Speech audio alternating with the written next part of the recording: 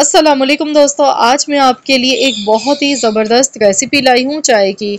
आज मैं रमज़ान के लिए एक ख़ास स्पेशल किस्म की रेसिपी लाई हूँ। इफ़ार में हमारे यहाँ बहुत ज़्यादा ऑयली चीज़ें खाई जाती हैं, जिसकी वजह से वज़न बहुत तेज़ी से बढ़ने लग जाता है कोलेस्ट्रॉल बढ़ जाता है और इतनी ज़्यादा ऑयली चीज़ें खाने की वजह से फिर हमें बहुत ज़्यादा इफ़ार के बाद सुस्ती होना शुरू हो जाती है, तबीयत भारी होना शुरू हो जाती है, सर में दर्द होना शुरू हो जाता है।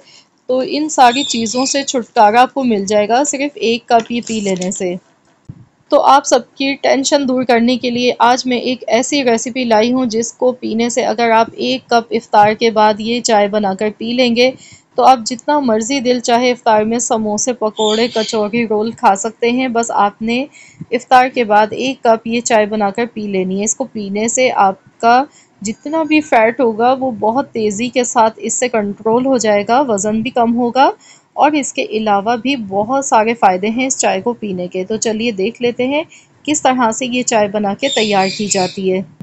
तो यहाँ पर इस चाय को बनाने के लिए सबसे पहले मैं तीन कप पानी ले गई हूँ। मैं यहाँ पर दो कप चाय बनाऊँगी। दो कप चाय बनाने के लिए मैंने तीन कप पानी के लिए हैं और इसमें सबसे पहले हमने बॉयल आने का इंतज़ार करना है। जब तक पानी में अच्छा सा एक बॉयल नहीं आ जाता है, तब तक हम इसमें कुछ भी नहीं डालेंगे। तो जब तक के पानी में बॉयल आ रहा है तो यहाँ पर हम देख लेते हैं, मैंने दो हरी इलायची ली है, ये देखिए। हरी इलायची आपने इनको अच्छे से कूट लेना है। ये हाजमे के लिए बहुत ज़्यादा मुफीद होती हैं, मैदे के लिए बहुत ज़्यादा हमारे लिए फ़ायदेमंद होती हैं। और वज़न को भी तेज़ी से ये कंट्रोल करती है, इतनी ज़्यादा ये फ़ायदेमंद होती हैं और फ्लेवर भी चाय का इसकी वजह से बहुत अच्छा आता है। अब मैंने यहाँ पर दूसरी चीज़ जो ली है, वो है अदरक। अदरक आपने एक इंच का टुकड़ा लेना है और इसे भी हमने अच्छा सा कूट लेना है यहाँ पर। इस तरह ये होगा, इसका जितना भी फ्लेवर है, वो चाय में हमारी बहुत अच्छा सा आएगा निकल कर अदरक के इस्तेमाल से जिसम में जो हमारी सुस्ती आ जाती है, वो सारी ख़त्म हो जाती है, रोज़ा खोलने के बाद अक्सर ऐसा होता है कि तबीयत में भारीपन आ जाता है और इसकी वजह से बहुत ज़्यादा हमें सुस्ती काहली सी हो जाती है तो वो सारी से दूर हो जाएगी, एकदम चुस्त कर देगी आपको ये चाय। तो यहाँ पर देखिए, अदरक को भी मैंने अच्छा सा कूट लिया है, इसके बाद इसमें मैं डालूँगी यहाँ पर सौंफ। यहाँ पर आप देख सकते हैं, आधा चम्मच मैंने सौंफ ली है। ये वेट लॉस के लिए बहुत ही ज़्यादा फ़ायदेमंद होती है और हाजमे के लिए भी फ़ायदेमंद होती है, हमारे मैदे के लिए भी फ़ायदेमंद होती है। तो यहाँ पर मैं आपको ऐसी चीज़ें नहीं बता रही हूँ जिनकी तासीर गर्म होती है। और वैसे भी आप जानते ही हैं कि पूरा दिन हमने रोज़ा रखा हुआ होता है जिसमें वैसे भी पानी की कमी हो जाती है। और ऐसे में हम बहुत ज़्यादा गर्म चीज़ का इस्तेमाल करेंगे तो वो हमारे लिए फ़ायदेमंद नहीं होगा इस्पेशली इन दिनों में, रमज़ान के दिनों में।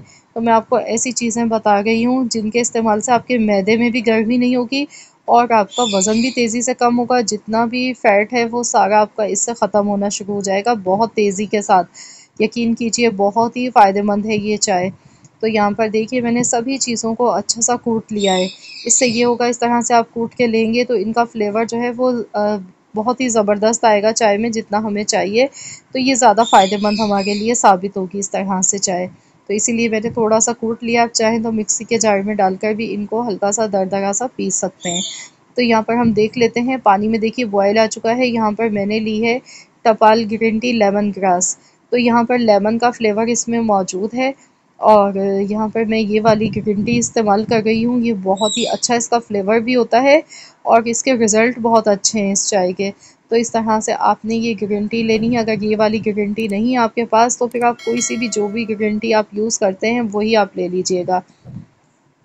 दो कप चाय के लिए मैंने दो चम्मच इसमें गारंटी के शामिल कर दिए। अब जो मैंने ये पीस कर रखा था, सौंफ, अदरक और सब्ज़ी, इलायची को, ये सारी चीज़ें भी इसमें तीनों चीज़ें शामिल कर देनी है। अब हमने यहाँ पर इन सभी चीज़ों को अच्छी तरह से पकाना है। ये चाय आपका कोलेस्ट्रॉल भी कंट्रोल कर लेगी, वज़न भी कंट्रोल करेगी और साथ ही में बढ़ी हुई शुगर को भी कंट्रोल करेगी। क्योंकि यहाँ पर मैं एक चीज़ इसमें मज़ीद और ऐसी डालूँगी कि शुगर के जो मरीज़ हैं, उनके लिए भी ये चाय बहुत ही ज़्यादा फ़ायदेमंद हो जाएगी। तो यहाँ पर देखिए, मैं डाल गई हूँ इसमें दारचीनी का पाउडर तो यहाँ पर मैं पाउडर ले गई हूँ, मेरे पास मौजूद है दारचीनी का पाउडर अगर आपके पास नहीं है तो फिर आप दारचीनी की स्टिक्स दो इसमें ऐड कर लीजिएगा। पाउडर डालने से ये है कि ज़्यादा ये हमारे लिए फ़ायदेमंद हो जाता है। और यहाँ पर मैंने लिया है वन टीस्पून दालचीनी का पाउडर। ये डाल के इसे अच्छी तरह से हमने मिलाना है।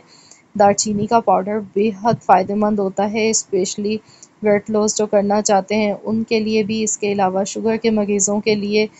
तो ये बहुत ही फ़ायदेमंद चीज़ है। तो अब रोज़ा खोलने के बाद दूध वाली चाय आप छोड़ें, आप ये वाली चाय बनाकर पीजिए, इस तरीके से ग्रीन टी बना के पीजिए तो यकीनन इन ताला आपको इससे बेहद आराम मिलेगा।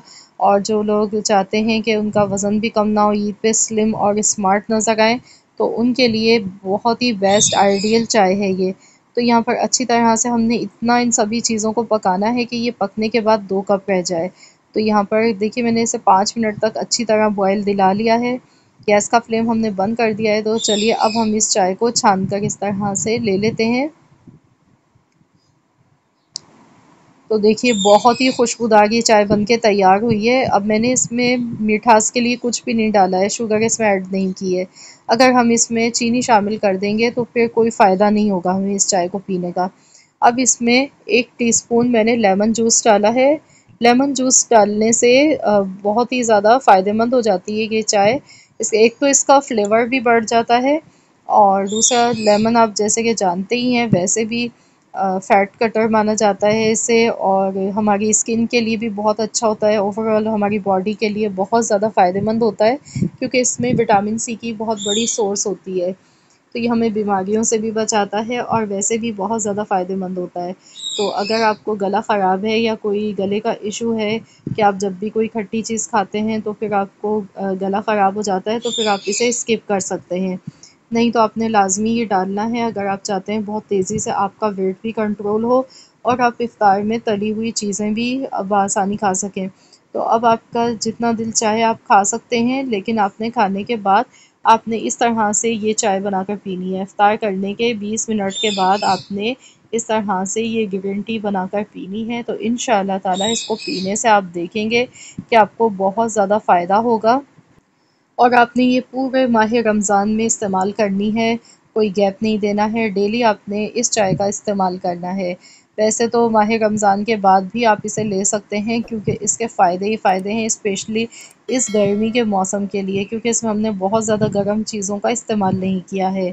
और ये बहुत ही ज़्यादा हमारे लिए फ़ायदेमंद है। उन लोगों के लिए भी जिनको जोड़ों में दर्द रहता है, उनके लिए भी बेहद फ़ायदेमंद है ये।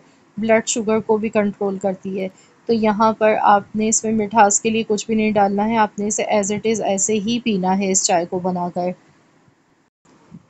आई होप कि आप सबको मेरी आज की ये रेसिपी ज़रूर पसंद आई होगी। वीडियो अगर आपको अच्छी लगी है तो प्लीज़ लाइक कर दें शेयर कर दें। चैनल पर नए हैं तो चैनल को ज़रूर सब्सक्राइब कर लें। मिलते हैं इन ताला नेक्स्ट रेसिपी के साथ। तो जब तक के लिए अल्लाह हाफिज़।